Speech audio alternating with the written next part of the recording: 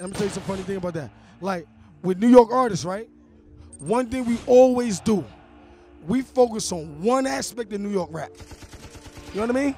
Like you can't tell me MOP was in New York. Ante Up was New York. You can't tell me Slam was in New York. You can't tell me Get At Me Dog was in New York. Now, if you if Get At Me Dog was done in this damn time, it would have been put on it with trap drums, bro. That's a fact. You can't get around it. And it would have been the same energy, the same intensity, the same feeling.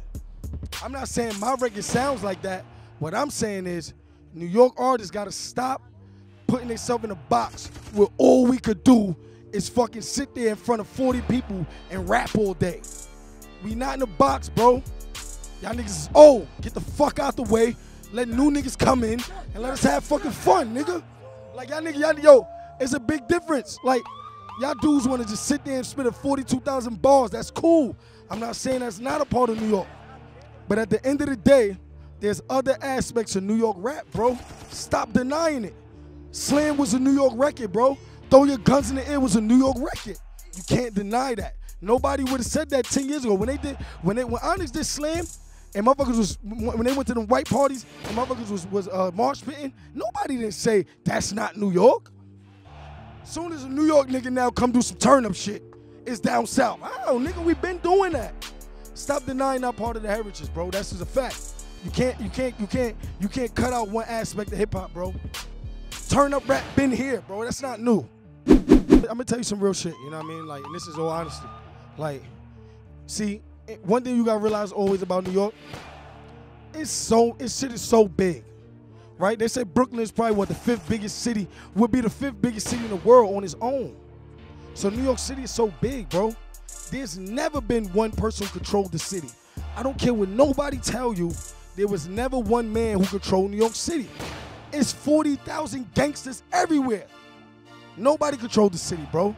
So at the end of the day, it's like, yo, when we come in, I don't care who's a king who's no motherfucking prince.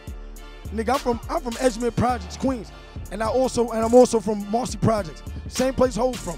I don't care. I love Hov, but nigga, we bringing something new, nigga. Like I ain't, I'm not I'm not sitting there trying to get no cosign from nobody. I'm coming with my shit, and that's what it is, bro. And I'm not stopping that. Ain't no nigga gonna stop that. There's only one nigga can stop the train, and that's the nigga inside of it. And that's a fact. Anybody else who's steamrolling over your ass, get the fuck out the way, lay down and die. Facts that.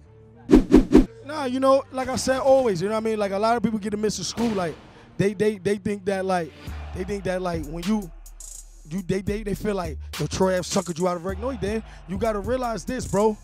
When a nigga got a bigger name than you and he remixes shit, if he don't say it's a remix, you will get you will get ran over, bro. That's a fact. Nobody can get away from that. Nobody. Cause you don't have the name to put yourself out there. Like nobody knows that Coco was a remake of another nigga's record. They thought that's his original song, but it's not. It was another nigga's beat that he took and did his song over, and they got the money behind it, and the song got bigger. So Sun's record got demolished. Now, when you come into that situation, you got two things. You can fight the nigga every day, but at the end of the day, the record is going. I don't give a fuck who like it or not. That record is gonna go. You can fight that nigga every time you try to see him. You might you're not gonna have the money to keep up with every city that nigga going to, right? Or you could do what I did. Be smart, wait your motherfucking turn, and when you get your platform, you tell a story. And the story gonna come out. And and and the nigga who say a nigga, you can't be a sucker and scared of a nigga if you telling the story. If you were scared of a nigga, you wouldn't say it. I'm saying it, cause nigga ain't scared of nobody. That's a fact, nigga. That's a fact. And everything with Ave, you know what I mean? Like, shout out to them. He did what he did. Nigga, it wasn't for him. I wouldn't have this show. He put me on a pedestal. I jumped up, stand on my own two fucking feet like a man, nigga. And any nigga think differently, suck. Hov have the ability of, of, of, of adapting to time, bro. You gotta adapt to time. When you fight against time, you will always lose. Time don't wait. It don't stand still. Time is gonna go, bro. Like that's just what it is. Like I remember when I first performed, right? They told me, don't bring 40 people on stage with you, right? And they told me I was crazy for that shit. They like, how? How you gonna do that? They told me when I get to bigger stages, I'm not gonna be able to do that. I'm not gonna want to do that. Yeah, but then when you see Kanye do it, right? And he got 70 people on stage, they said this is the greatest performance I ever seen. You understand what I'm saying? So it's like time. It's progression, bro. And that's just what it is, my nigga. It's like you gotta adapt the time. So the people that died off, it's because they just didn't keep going with time. I don't fight against time.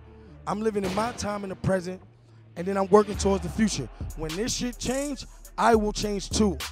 I'm not trying to stick with no one particular style, one particular genre. I'm not in a box, bro. Like we live in the digital age, the internet age. Like a nigga, I don't care what nobody say. The world is flat now, bro. It's no longer round. And what I mean by that is that a dude could say a slang from Japan, and you will hear it here, and then and another person will use it here. You understand what I'm saying? Like all across the world now, we saying fuck 12. 12 don't mean the same thing in every in every uh, police jurisdiction. It don't have the same. It is not the same thing. It's not the same slang. But as us as a hip hop culture, we know what it means. So it's so the slang don't belong to them. It belongs to the culture. We're part of the culture, bro. We just cannot stop a fighting against where you from. No, the world is flat now. It's flat, bro. Everything is all connected. We all one now.